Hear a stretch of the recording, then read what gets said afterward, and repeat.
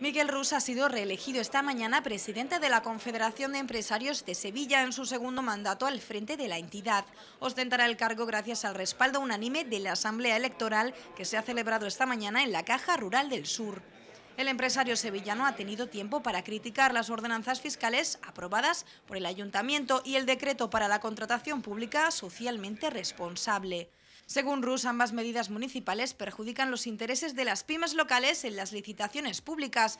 Rus dice no estar de acuerdo con la subida de impuestos, ya que lo único que a su juicio provoca la subida de la presión fiscal es el desánimo para la creación de empresas, lo que paraliza el crecimiento del empleo. Por otro lado, Rus considera que las nuevas cláusulas sociales de los contratos municipales entran en un territorio que corresponde a decisiones de las empresas y cuya aplicación tiene que hacerse voluntariamente y no bajo la sospecha municipal.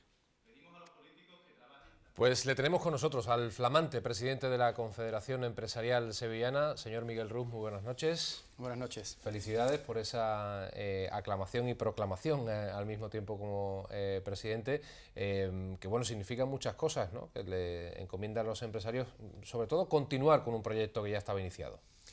Pues sí, la verdad es que después de cuatro años muy duros, muy complicados, de reestructuración, con medidas muy difíciles y muy dolorosas, pues bueno, hemos conseguido reestructurar la asociación y hoy día es una asociación saneada, viva y, con futuro.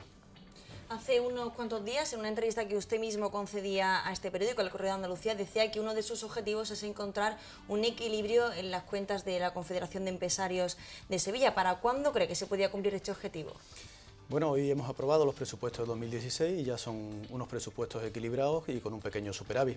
Luego estimamos que después del esfuerzo que hemos hecho y el equilibrio entre los ingresos y los gastos, salvo este año 2015 que no ha surgido un extraordinario, pues ya en el 2016 los presupuestos equilibrarán. Nosotros somos una entidad sin ánimo de lucro y nuestro objetivo no es pérdida o beneficio, es tener un equilibrio entre nuestros ingresos y mejorar los servicios a nuestras asociaciones y a nuestros empresarios. Sí, pero decía usted que, eh, estaba muy bien aquello de eh, aplicar la filosofía empresarial precisamente a la, agrupación de los eh, empresarios, ¿no? que así era como se iba a conseguir eso que ya han conseguido hoy según nos cuenta, ese pequeño superávit. Pues la verdad es, que sí, lo hemos conseguido y además basando pues la mayor parte del presupuesto en las cuotas de nuestros asociados y esa es la clave, ¿eh? que dependemos, tenemos independencia financiera, tenemos saneadas las cuentas y tenemos muchas cosas que hacer y muchas cosas para mejorar y, facilitar eh, al inversor y al empresariado tan necesario para nuestra economía y para nuestro empleo. Por ejemplo, ¿de, qué adolece la empresa sevillana? ¿Necesita un cambio de mentalidad, de cultura? ¿Ha, aprendido también el empresario en estos tiempos de recesión económica, de crisis? Pues la verdad es que hemos aprendido todo, ¿no? porque el que no haya aprendido ha muerto en estos ocho años de crisis. Entonces hemos aprendido, algunos, digamos, con con mayor castigo, con mayores palos o mayores circunstancias complicadas, pero sí, el empresariado sevillano es un empresariado preparado. Y en lo que he insistido la asamblea de, el discurso de la asamblea de esta mañana y, también quiero insistir ahora en, cómo tenemos que colaborar más, cómo tenemos que, ver cómo coordinarnos mejor entre nuestras empresas y cómo buscar qué es lo que nos une para que nuestras empresas, que tenemos un 97% de pymes, tenemos que ver cómo nuestras empresas aumentan en tamaño y eso será mayores garantías de que sean más competitivas y sean más viables en el largo plazo. ¿Y para eso estaría, por ejemplo, en su hoja de ruta cambiar el modelo productivo de nuestras empresas? Bueno, como decía en la entrevista que hice con el Correo hace poco, yo lo dije muy claro, el cambio de modelo productivo es dar más facilidades para que seamos más competitivos y lo que tenemos es que mejorar eh, y facilitar eh, las ventajas que tenemos y las posibilidades que tiene nuestra provincia de Sevilla para ser más, competitivos y tenemos que, que salsarlas, tenemos que estrujarlas y tenemos que aprovecharlas. Si no las aprovechamos y no damos esas facilidades, será muy difícil. Los cambios de, los cambios de modelo productivo es una frase hecha, pero es una frase muy complicada. Eh, para eso tenemos las administraciones y también las confederaciones de empresarios que ayudar y que indicar por dónde podemos ser más competitivos. Y tenemos muchas posibilidades. Claro, pero me refería en todos los sectores para no depender, por ejemplo, tanto del turismo. Por apostar más por la industria y por otros sectores. Por supuesto, pero decimos queremos más industria, Sevilla es industria, necesitamos más industria, pero ¿qué es clave para la industria? La distribución, la logística, y para ello que necesitamos pues ser más competitivos en esos costes de distribución y de transporte. Y para eso que necesitamos, pues el dragado del río para que puedan entrar los barcos de tamaño medio. de 20.000 toneladas. Y si no es así, pues desgraciadamente repercutirá en los beneficios empresariales, en atraer a menos inversores o tener que bajar los salarios.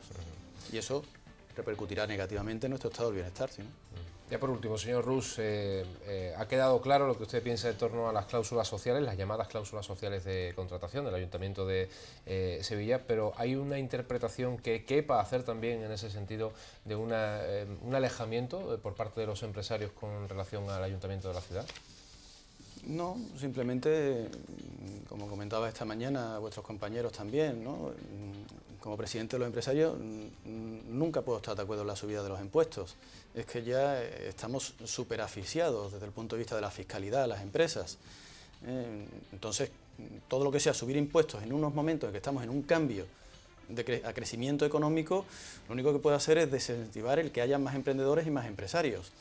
Y con respecto al pliego de cláusulas sociales, bueno, en la SED llevamos tres años con el Premio de Responsabilidad Social Empresarial, promoviendo, hemos creado eh, la Comisión de Responsabilidad Social Corporativa, hemos creado un foro de empresas responsables.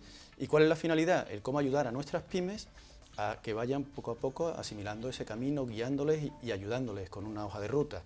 Pero si de la noche a la mañana se ponen unos pliegos de cláusulas sociales, ¿qué es lo que me preocupa? Que las empresas sevillanas que actualmente están trabajando para esas administraciones, si no les ha dado tiempo a adaptarse, pueden quedar fuera de juego. Y no podríamos entender, ni comprender, ni admitir que las empresas sevillanas no puedan licitar en su municipio. Entonces hay que dar un tiempo para que todos nos podamos adaptar. La responsabilidad social empresarial, totalmente de acuerdo con ella.